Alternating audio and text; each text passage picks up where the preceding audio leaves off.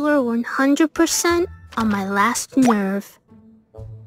It's serious.